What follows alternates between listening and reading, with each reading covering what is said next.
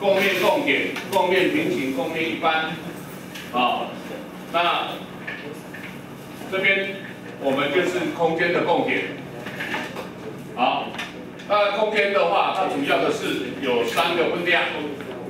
啊，所以呢，根据前面的技巧，就是把所有力量集中在力气中心。好，力气中心，然后接接下来再把它所有的力量这边用向量的方式加起来。好，那深度空间的话，它有三三个哦分量，然后利用它的大小跟啊单位向量，那单位向量用方向移显的表示。好，是这个样子。那我们写出答案的话，就是看看它的大小跟方向角。那这边呢，因为它出来是一个向量，它有两种情况，一个是等于零向量，一个是非不等于零向量。等于零向量的话，它三个分量相等于零，代表三个 x、y、z 分量等于零，代表不会移动，平衡。好，那假如是不等于零的话，它变成一个啊，不是平衡状态。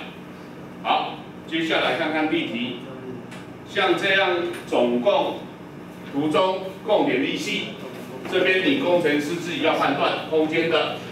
那坐标轴呢是人为定出来的，好，x、y、z，好，用右手定则。那你要求它的合成这样作用在一个物体上面，好，它到底是什么状况？到底是平衡？我们所理论告诉我们，是我是平衡状态，或者是一个单力，好，它整个的合成效果是怎样？那首先我们要完全是不知道的，所以我们必须要把个例，啊，利用这个坐标轴，把它。像这样的，好，F1，我们用走的方式，它本身的大大小乘上单位向量，单位向量开根号，以下开根号，所以从这样走到这边的话是这样走，G 这边走的距离是六，六 k 正六 k，它的方向跟 G 轴相同，这样走，它走的。六的距离，但是它的跟 y 轴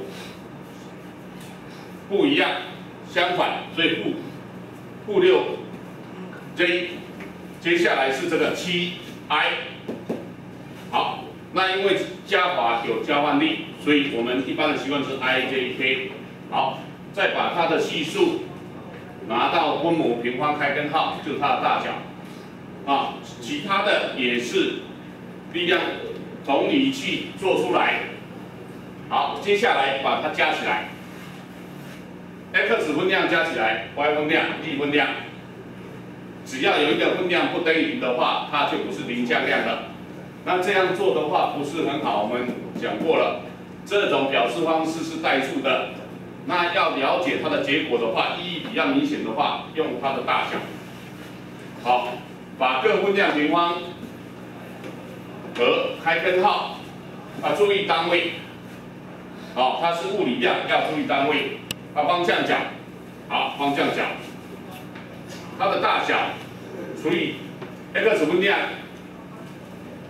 除以它的大小，y 分量除以它大小，z 分量除以大小，然后取反函数 cos 的方向一选。但特别注意，还没有写出答案的时候，它。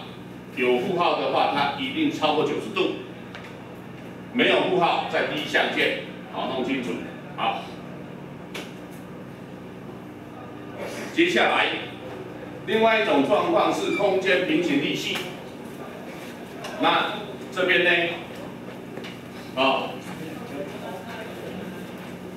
是这样的作用，有很多有很多力量作用，还有。这个力哦，那我们定出来，它都它是平行 y 轴的空间的但是似乎从这边看，这个都是跟 y 轴有平行的，这个跟 y 轴没有平行的力有。但是我们可以用力有变换，把它变变成转换成先把它转换成平行 y 轴。好，有问题。好，接下来同样的道理，取某一点为力矩中心，把所有的力量平移到这边。那有三种技巧。第一个，啊，假如这个力量通过这个力力化简中心或者力矩中心的话，用力可移性原理；假如不通过的话，用力线平移定理。那力线平移定理就是我们集中考考试的，好，一个力量分解成跟它平行的有一个力啊，一个方向分解成